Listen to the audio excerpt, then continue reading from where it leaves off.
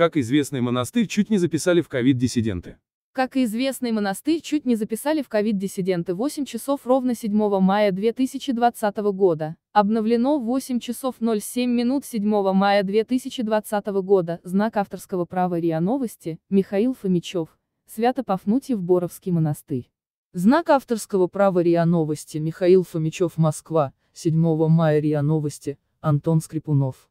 Один из самых известных российских монастырей Свято-Пафнутьев-Боровский оказался в центре скандала. Монахи уверяют, что их хотели записать больными коронавирусом еще до сдачи анализов.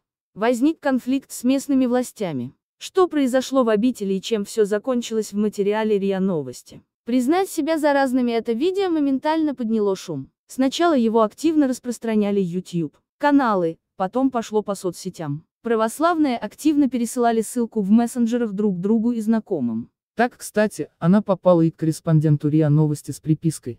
Монахов Боровского монастыря принудительно записывают в больные коронавирусом. Ролик записал насельник обители, известный православный публицист и иеромонах Роман Кропотов. Он рассказал об интересной ситуации. По его словам, в монастырь 30 апреля из местной больницы приехал врач и раздал для подписи документ в котором говорилось, что их проинформировали о диагнозе COVID-19.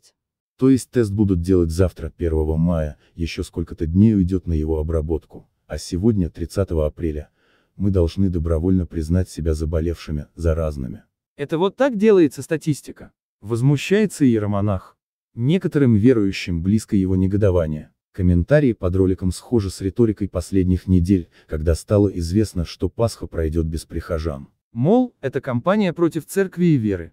Не тот бланк. Впрочем, местные власти довольно быстро отреагировали на нашумевшее обращение монаха. Выяснилось, что проверку братья на коронавирус затеяли после того, как одного из трудников госпитализировали с подозрением на болезнь и спустя несколько дней тест дал положительный результат. Администрация Боровского района направила в монастырь дезинфекторов. Однако те работали только на открытых участках, в помещениях обработку провели сами монахи. Чтобы разом ознакомить большое количество с инструкцией, как себя вести в условиях эпидемии, врачи решили передать типовые бланки. Но произошла ошибка, надеюсь, не надо объяснять, в каком режиме сейчас работают медики, по последним данным, в Калужской области почти полторы тысячи заболевших. Прим, Ред. И взяли не те экземпляры, объяснил замглавы Боровского района Алексей Гераскин. Знак авторского права фото.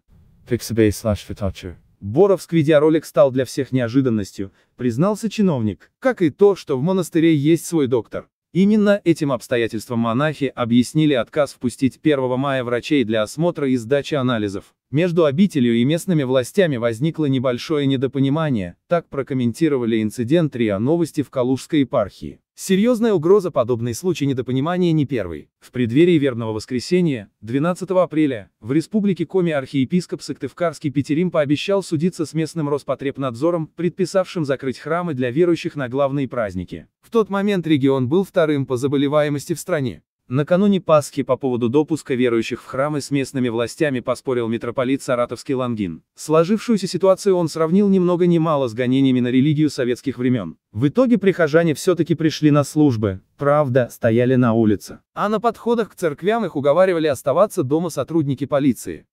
19 апреля, 17.28 религии и мировоззрения до слез. Как в России встретили Пасху в новых условиях разногласия улажены в числе пострадавших от эпидемии монастырей крупнейшие центры паломничества, Троица Сергиева Лавра, Дивеевская обитель. Поднялась волна критики, служителей обвиняют чуть ли не в ковид-диссидентстве. Судя по комментариям в соцсетях, подобных нападок не избежал и Боровский монастырь. Однако на поверку все оказалось иначе. Как отмечают в Калужской епархии, конфликт между Пафнутьевым монастырем и местными властями улажен. Никаких проблем там нет. Врачей пускают, монахи сдали анализы. Все под контролем, заверяет РИА Новости глава епархиального отдела по взаимодействию с государственными структурами, обществом и СМИ протодиакон Сергей Комаров. Информацию о том, что 45 насельников сдали анализ на коронавирус, подтвердили и в администрации Боровского района. Все разногласия улажены, подчеркивает замглавы района Алексей Гераскин. Автор скандального видео «Отец Роман» Коротков в новом видеообращении отметил, в монастыре сложилось абсолютное доверие к врачам. 4 мая 10, 21 религия и мировоззрение умер клирик Покровского Ходькова монастыря, заразившийся COVID-19.